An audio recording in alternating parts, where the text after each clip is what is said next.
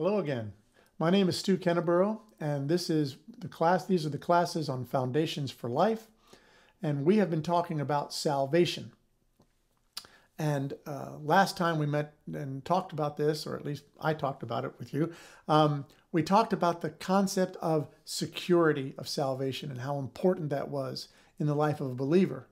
And so we ended where we were getting ready to talk about the three parts of the Godhead that are involved in the whole aspect of security. And so that's what we're going to be talking about in this lesson. So the first would be security through the Father. We're going to look at John 5:24. Very truly I tell you, whoever hears my word and believes him who sent me has eternal life and will not be judged, but has crossed over from death to life. So what that verse tells us is God, uh, God the Father's statement that if you uh, speak His name and if you have eternal life, you will not be judged. You don't have to worry about ever losing that relationship. Also, God has infinite power to save and to keep us. John 10 29. My Father who has given them to me is greater than all. No one can snatch them out of my Father's hand. Now, this is Jesus talking to the people about those who are saved. And he says very clearly God's the one that does it. He is infinitely powerful. Nobody is going to thwart him in this process. He has got this covered. So, this is what Jesus is saying. And then there's the concept of infinite love from, from the Father. Romans 5 8. But God demonstrates his own love for us in this while we were still sinners, Christ died for us. See, we don't have to worry about God coming to his senses at some point and saying, you know what, those people down there are just horrible. They're horrific. And I'm going to change my plan um, I'm going to do something else. What that scripture tells us is that God loved us even when even when we were horrible, even when we were horrific, even when we wanted nothing to do with him, God loved us and he chose to save us. So that's security through the Father. Now, security through Christ. Romans 8 1. Therefore, there is now no condemnation for those who are in Christ Jesus, because through Christ Jesus, the law of the Spirit who gives life has set you free from the law of sin and death. So basically, what that's saying is that Christ had or paid what they call a substitutionary death for you. He substituted himself for you. He paid the penalty for your sin by accepting that sin on himself. No condemnation because of what Jesus did. And then uh, in security, there's the idea of the resurrection. Let's look at Ephesians 2 6. And God raised us up with Christ and seated us with him in the heavenly realms in Christ Jesus. So basically, this is telling us that we have been raised up with Christ. So it's not just that God's paid the penalty for us. We have had the same resurrection that Jesus had. We have the same privileged position of being there with Jesus, with God in our salvation. Then there's this whole uh, idea that we've talked about in some of our other classes about advocacy. Advocacy in heaven. Hebrews 9:24. Take a look at that. For Christ did not enter a sanctuary made with human hands that was only a copy of the true one. He entered heaven itself, now to appear for us in God's presence. Basically, that's telling us that Christ is there.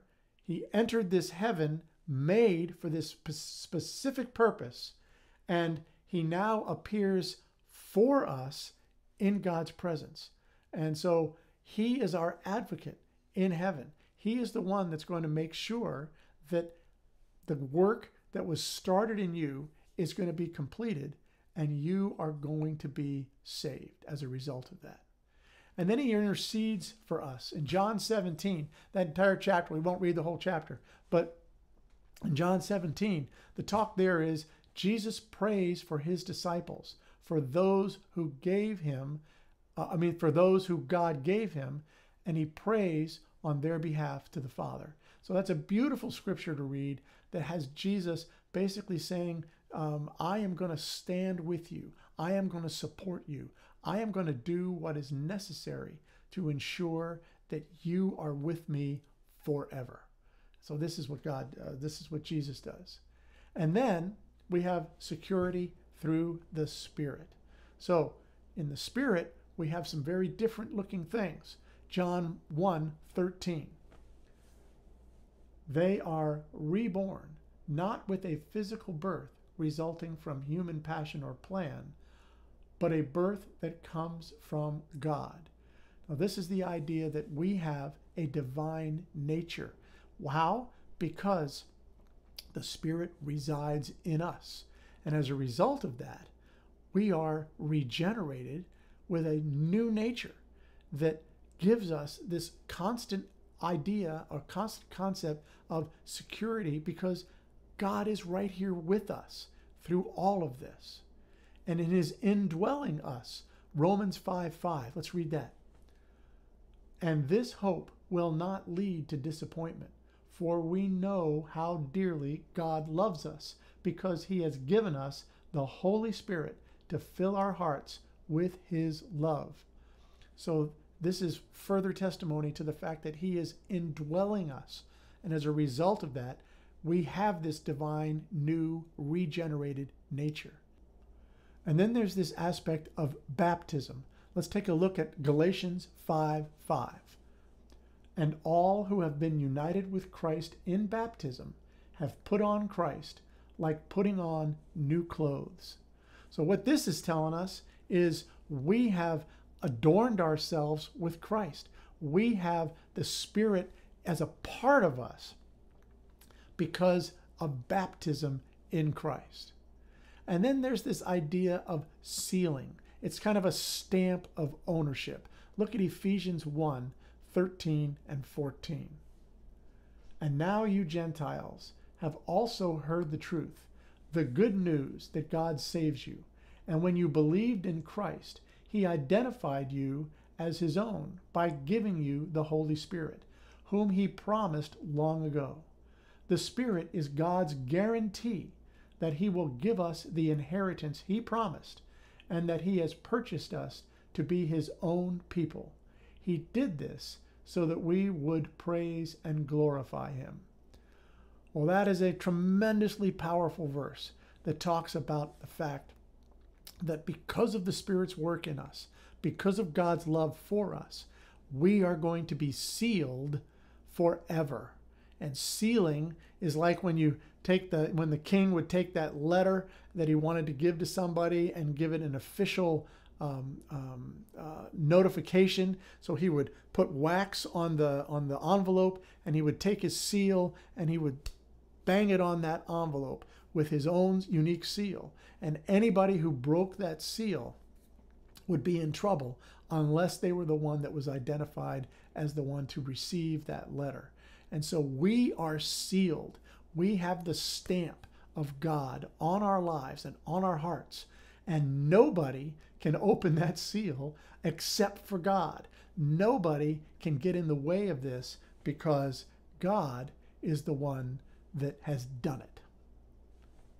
So there are sometimes questions about the concept of eternal security.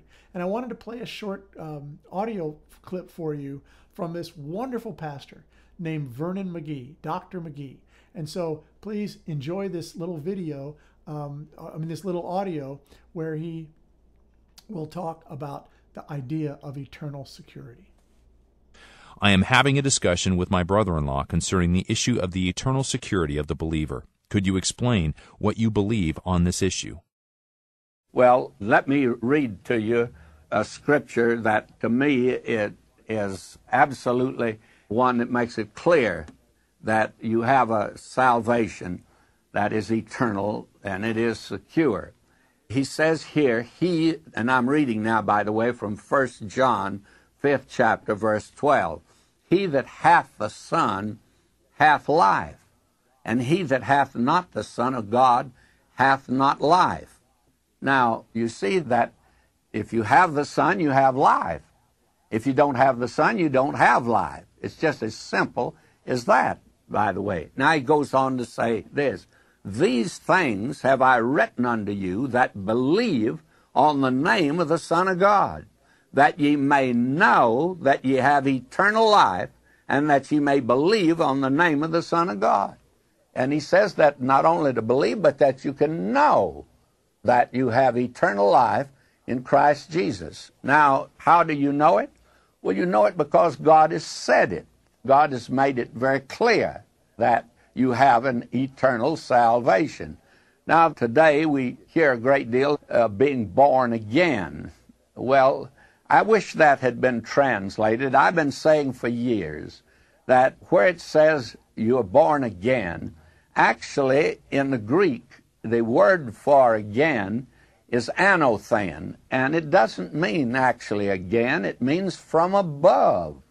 And there are two births the birth from below, the human birth, the birth from above, which is by the Holy Spirit, born of the Spirit of God. And born again not of corruptible seed, Peter said, but of incorruptible, of the Word of God that liveth and abideth forever. Now, if you turn to the Word of God and read as we've had here, if you have the Son, you have life. If you don't have the Son of God, you don't have life. Have you been born from above? Has the Word of God been brought to you that you now trust the Lord Jesus Christ? Paul says in Romans, Ye are the sons of God by faith in Jesus Christ. Faith in Jesus Christ? Yes, that's all. You mean the works don't enter in? No, sir. It's by faith in the Lord Jesus. So, you can hear, and uh, isn't that great? He's a, he's got a wonderful voice, and here's all. By the way, if you're interested in, in some of his other teaching, there is a ton of it online on YouTube. You can just look up Vernon McGee, and they've got these little short clips all over the place um, about different topics. It's wonderful stuff. So, the concept of election then offers us three really important things. Three really important things. The first, an assurance of salvation. We know that we are saved. We are going to be saved forever because it is a work of God. We have confidence for daily living. We know that this is work that is done by God. This is not something we're trying to do on our own. And it also promotes personal evangelism. Now, this is an interesting point that some find fault with. They say, well, if God is the one who chose me, then what's the point of sharing Christ with anybody? If God chooses them, they're chosen. So, what difference does it make? Well, it plays out in God's plan for salvation that we would be able to be used by God to help someone understand this story of salvation, to share the word with them so that their heart might be tender and allow God to work um, in their in their lives. And so it also provides us an opportunity to be a part of this glorious, amazing family of God here on earth until such time as we all join him in heaven. It's a better place for us to be, to be a part of this, to be with you guys and with anybody who is searching for God, who is seeking to live a life that, that honors him. That's the place. Those are the folks I want to hang out with. Those are the people that are fun to be with. And so it promotes that personal evangelism from that perspective. Well, that covers what we wanted to talk about regarding election. Next time we get together, we're going to talk about sanctification. Great topic. You're going to enjoy it. And so uh, I will say thank you for listening. Thank you for watching. Uh, my name is Stu Kinniburgh, and I will look forward to communicating with you again soon.